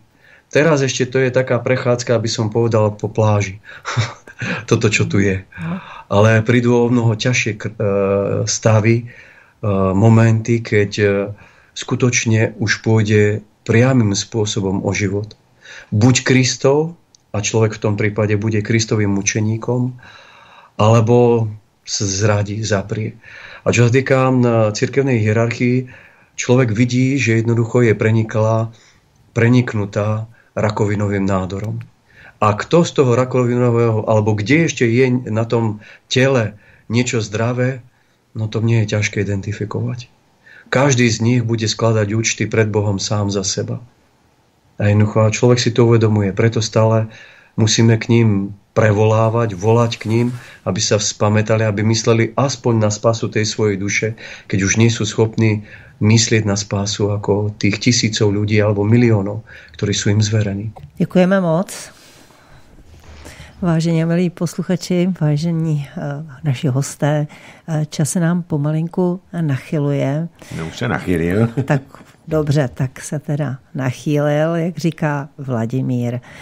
Já bych, uh, já vám moc děkuji, děkuji za pěkný povídání, pěkný pořád, který tady s vámi vždycky máme. Je to v dnešní době velice důležité slyšet některé informace, které eh, se v mainstreamu anebo běžně vůbec nevyskytují. Je potřeba si to neustále opakovat, to, o co tady běží, jak se utahují šrouby, jak eh, skutečně Satan na nás vykukuje ze všech stran, jak ubližuje našim potomkům, těm nejmenším, ať už patolacím eh, věku od školek, eh, kam směřuje eh, ta šílenost genderová a různá mazlící a podobné věci, kde skutečně ohrožují životy a duševní zdraví našich dětí. Já bych vás chtěla teď velice poprosit, pane biskupe, o požehnání. Požehnání právě pro všechny maličké, kterým je ubližováno a kterým to ubližování se tady eh, nastražuje.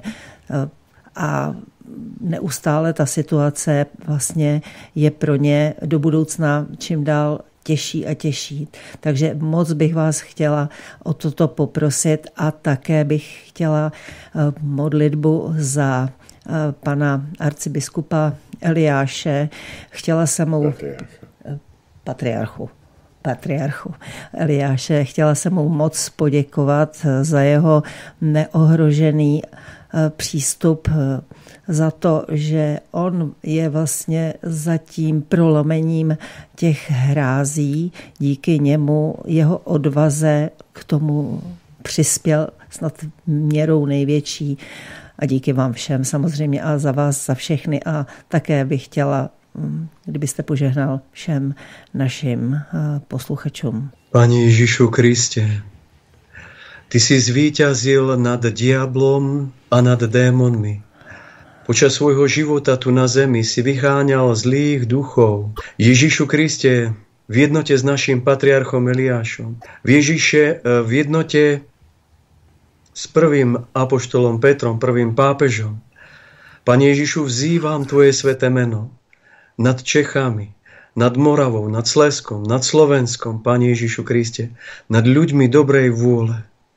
Ježišu, prosím ťa, aby tí, ktorí sa nejakým spôsobom otvorili démonom alebo satanizmu skrze veštenie, špiritizmus, mágiu alebo akýkoľvek iný prostriedok alebo tú ťažkú heavy metalovú alebo rokovú hudbu, aby sa úprimne toho zriek. Ježišu Kriste, prosím ťa za tých maličkých, o ktorých hovorila pani Sonia, za tie malé deti, Prosím ťa obzvlášť za ich rodičov, aby im bola daná milosť, aby vedeli pred čím chrániť svoje deti a akým spôsobom, aby mohli z nich vyrastať zdraví jedinci, ktorí budú používať zdravou mierou svoj rozum, Pane Ježišu, ktorí nezneužijú svoju slobodu na to, aby si ublížili, ale naopak na to, aby priniesli dobro do svojho života, do života blízkych pre tento národ. Baránku Boží, prosím ťa, vzývam teraz Tvoje sveté meno, aby diabol bol pokorený, aby boli pokorení všetci démoni, ktorí sú za veštením, mágiou a špiritizmom, obzvlášť za tým špiritizmom, ktorý sa tu tak často praktizuje. Ježišu Kriste, aby tieto duchovné síly a démonické boli spútané a rozbité. Prosím ťa, Pane Ježišu Kriste, za všetkých tých, ktorí boli nejakým spôsobom demonickými silami spútaní alebo dotknutí, Ježišu, aby si teraz priniesol oslobodenie od týchto demonických síl a uzdravenie pre tvoje sveté rany, pre tvoju smrť na kríži. Ježišu, prosím ťa, za, aby si požehnal Čechy, Moravu, Slesko, Slovensko. Dotkni sa všetkých ľudí dobrej vôle. Odovzdávam ti našich nepriateľov. Pane Ježišu Kriste, dotkni sa ich, aby konali pokánie, aby mohli byť spasení. Prosíme za seba samých, Pane Ježišu Kriste, aby sme Ti boli vernými až do konca. Prosím ťa Ježišu, aby si požehnal pani Soniu, pána Kapala, tých spolupracovníkov všetkých.